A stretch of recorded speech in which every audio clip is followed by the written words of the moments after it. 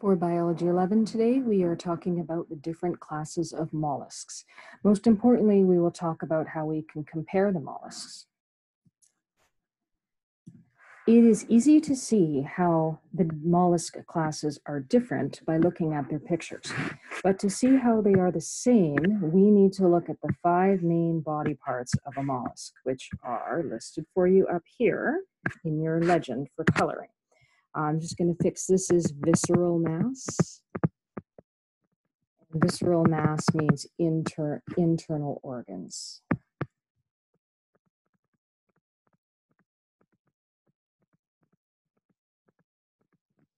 Okay, so to compare them today, we are going to do some coloring of our classes. Hopefully you've got five different colors of pencil crayons or felt pens.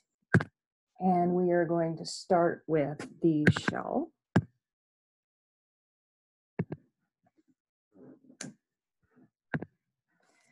Shell, I'm going to choose a purple.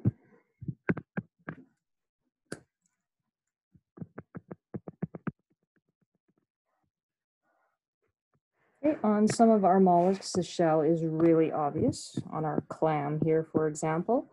So, in fact, the name for bivalvia actually means two shells. These are your clams, your oysters, scallops, etc. Mussels as well. Okay. So that's our shell on the outside. And if I come down to my internal picture, again, my shell's pretty obvious on the clam. Just gonna draw an outline around here for our shell. Okay, let's move on to our cephalopod. Okay, on our cephalopods, which are squids, octopus, etc. The shell is often on the inside. It's a clear cartilaginous piece called the pen. Okay, and the pen is an internal shell.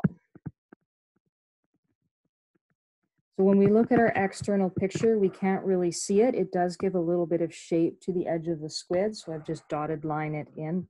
And it is not shown on our internal picture, so I have nothing to add to that. Okay, and our next one, our gastropod. Okay, if it's, these are your slugs and snails. So if it's a snail, ocean or land dwelling, it's fairly obvious. Here's a shell. Okay, and again, I'm just gonna outline it on our external part. Just enough for us to see. Okay, so that's the first mollusk part we've talked about is the shell. Uh, the next one we're going to talk about is something called the foot. So the foot I'm going to do on my mollusks in Okay, on our clam, it's this piece here. The clam can use it for digging and burrowing. And here is where our foot is on our internal clam. Sometimes it can be extended out of the shell.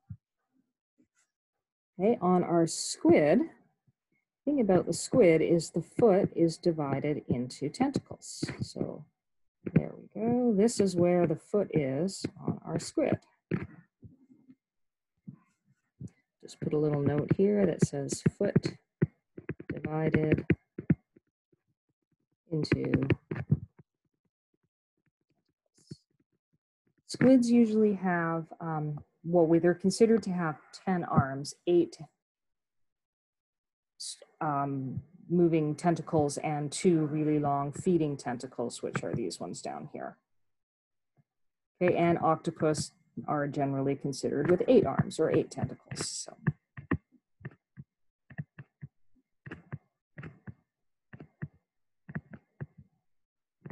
Okay, and that's our squid.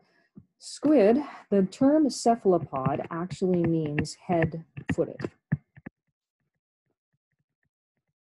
The foot of the squid is attached to the head and as you can see its proximity to the eyes here and here. Okay, let's move on to our gastropod. Our gastropod, the foot, I see it's labeled sole on this picture, but here's our foot. Okay, it's this bottom piece of my gastropod where it crawls along. And same with on this picture here.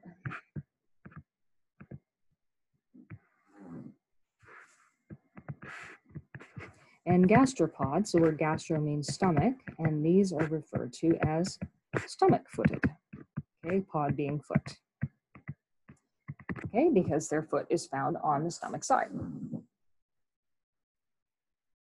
Okay, our next piece that we're going to label on our mollusk is the mantle. Use yellow for that on mine. Okay, on my clam, it's this inner layer of tissue that surrounds the cells. It's kind of the, it's one of the chewy parts of the clam you eat when you have clam chowder or if you'd like steamed clams. It's not visible on the external diagram. On the squid, all of this outside tissue, almost what we would consider its skin, this is the mantle. And mantle means it's a soft-bodied organism. So it's a soft tissue layer, even some of these parts here. Okay, and on my internal squid, this one has had the mantle cut open so that we can see the inside.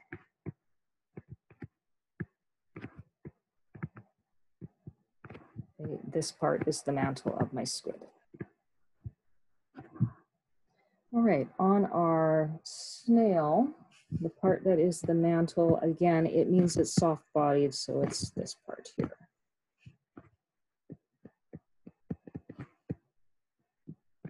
And on the inside of our snail.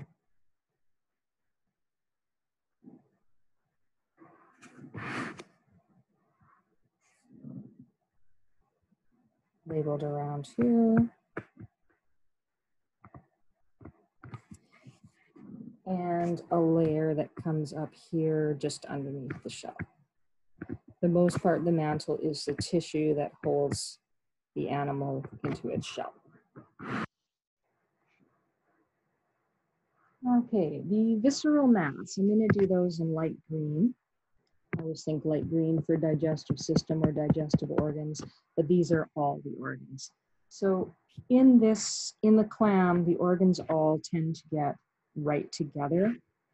So the visceral mass basically turns out to be this whole area here that contains all of its organs. So I'm just shading all these in green. Be careful not to get the gills. I should have done those first.